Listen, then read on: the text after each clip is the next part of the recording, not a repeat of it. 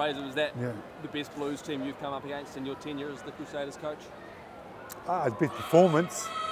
Um, they took opportunities early and showed me desperate as you would be after 18 years. You know, you want to uh, come down here and uh, turn their tide, and they did. You know, like officially just to, like to congratulate Leon and, and the team for uh, you know winning a, a gritty win, a real gritty, gritty performance, and we threw everything. We still had opportunities, and what a game. Obviously, a really kind of tight finish in that second half in, particular. Yeah. Um, do you feel like it, maybe you just left it a bit late to try and mount that comeback? Had the game almost got away too much by the time that came around? Uh, we were down here with three minutes to go, so that's, that's enough to score twice, a few tries in.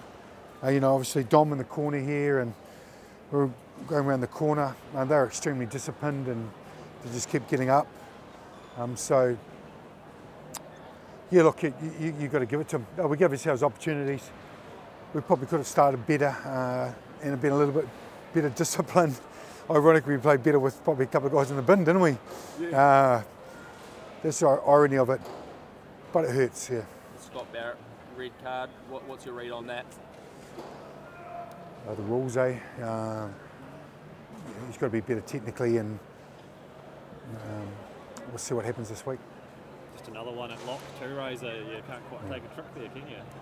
If, if you lose it for a Yeah, yeah, yeah. Look, yeah, yep. So Sam comes back, which is good timing, and obviously Zach puts some shift in for a young 20-year-old, didn't he? He was exceptional, 80 minutes, and just keep getting up, and he's got a big future. So that's one. There's a couple. There's a lot of positives out of the game, but obviously the, the result's the one that would love to have got. You know, a couple of points there. You think the game could have gone away. It could have been two or three score games, and then we nearly won it at the end. It just shows.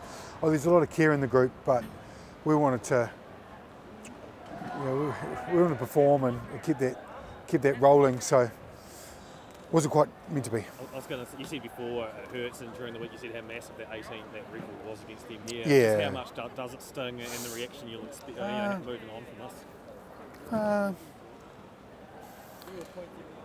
just yeah, I would like to have you know it's in your tenure and your in your in your coaching. You want to you you know you get a few records, but you want to keep that one. You know, you it's a record that um, you you realise. I think what it is is a good chance to reflect really on what it does take and how desperate teams are and how big games are and how to win big ones. You've you, you've just got to be on.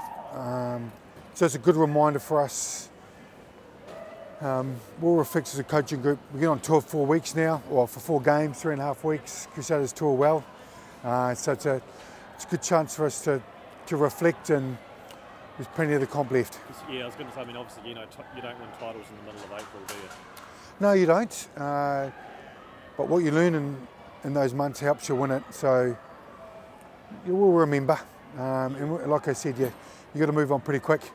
You know, we've got Magic Round in Melbourne. We'll get excited about that and get a few more players out there to um, give an opportunity in our jersey. Joe Moody, what's the initial thoughts on having him? Joe's got a clunky knee. That's all I can say. It just didn't quite work when they went to bend it. So that's not the greatest um, uh, overview of his knee, but it, he wasn't quite. Good. He was good enough to carry on. So yeah. Scott, um, Steve Hansen once said that he thinks that for a young player, sometimes it's actually beneficial to feel the pain of a loss. And he talked about the pain Yeah. you're feeling as a coach. Yeah. Yeah. Um, is, is, that, is that one small positive you can take out of this? Oh, yeah, it is in our group. This, you know, this group hasn't Quite a lot of had that guys. feeling, and a lot of young guys and a, and a lot of older guys that haven't either. You know, 18 years is a long time, and since the last time they beat us, what was this, 2012, 2014. 14? You know, so haven't had that. Uh, uh, and, and they just realise how desperate other teams are, and you know we've had a lot of close games the last few weeks, but it'll keep us sharp. Uh, yeah. You, uh, what's the plan in terms of when do you head over to Melbourne? Uh, Friday afternoon for the Sunday game. We'll get back together Tuesday as a group, so we've got a long weekend, uh, a few Easter eggs. Just quickly on the young guys, like you had Zach, you also had Dom Gardiner. You know, playing in games like this, I mean, how much does that bode for them? Oh, picked up to 20 hours a lock. It's pretty awesome, isn't it? Yeah, yeah, you sort of didn't imagine at the start of the year that they'll be running out, you know, in a game and finishing. But look, their performance and how they played and the, how brave they were and the skill set was, in, is a, immense. So we go straight away.